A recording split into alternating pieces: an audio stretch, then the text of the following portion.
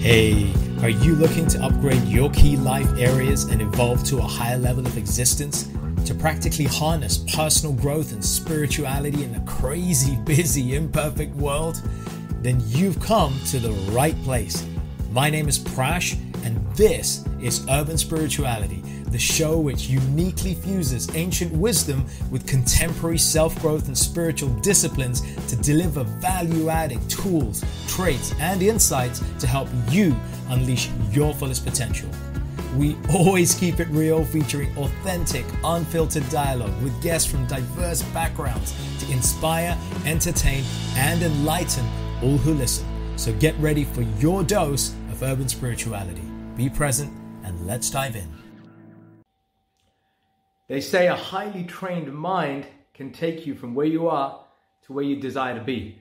Einstein, Buddha, Socrates, and many other luminaries acknowledge the fact that your thoughts determine what you achieve and that you become what you think about. So, here are five key ways of disciplining your mind to remain focused.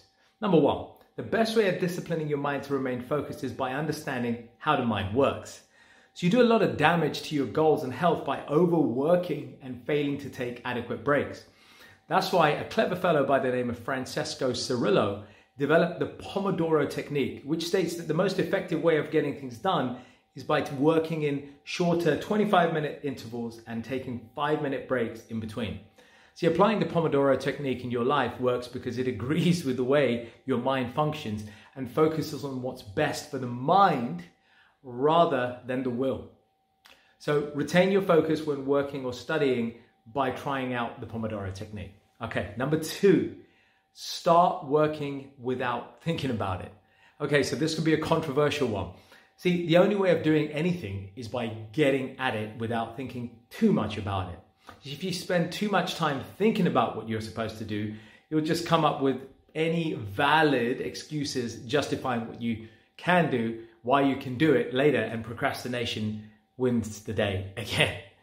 Hence, the only way to ensure you get traction on something is by jumping in to do the work without excessive thinking or emotionalizing about it. In fact, you're better off visualizing the desired outcome like top athletes do before events and then just getting that ball rolling as the momentum will then follow soon after. Okay, number three, control your environment. Your mind is influenced by external factors. No fresh news there. That's why tidying up your desk and working on an orderly environment is important. Clearing up your work area will have a positive impact on your work and it might just help you be easier to focus your mind. See, look, I understand that there are some distractions you can't avoid when working, especially when working from home, sharing space and resources with household members, etc., especially during these times. This is where coming up with effective ways of minimizing interruptions comes in. Listen, for example, tell everyone at home that you'll not be available for the next three hours or so if you have a home office. Or in the office, put on headphones and tell your co-workers that you're not going to be disturbed for a period of three hours, for example. Number four, set daily goals. I repeat, daily goals and plan to achieve them. See, it's great to have big, ambitious goals. But setting daily goals teaches your mind to engage in active thinking and avoids this idleness. Setting up daily goals will make it easier as well for your mind to nurture positive thoughts and constantly come up with solutions that actually work. See, disciplining your mind to repeatedly engage in critical thinking and remaining busy by having actionable plans that will enable you to achieve the goals you set.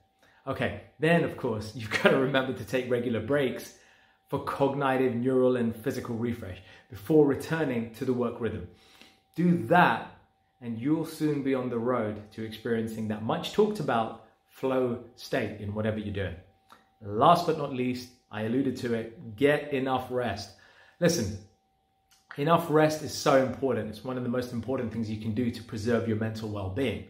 That's a fact. See, your mind can only be refreshed and replenished by getting enough rest, both active rest such as unwinding through exercise, a good book, podcast, or some balanced TV watching, and of course, good quality sleep on a regular basis. So remember to prioritize rest as much as you do work. So there you have it five great ways of disciplining your mind to remain focused. Hey, folks, thanks so much for listening. I really hope you enjoyed this episode, and as with all our episodes, found something to inform, inspire, and empower you in your personal and spiritual journeys in life. As always, feel free to leave a little love through your ratings and comments, subscribe, and share it with those you care about and take your personal and spiritual evolution to the next level by joining us on one of our unique events, workshops, or retreats, or taking advantage of our personal and professional coaching packages. Find out more about us at mantratherapy.co.uk. I'm your host, Prash K. This is Urban Spirituality, and we will catch you on the next episode.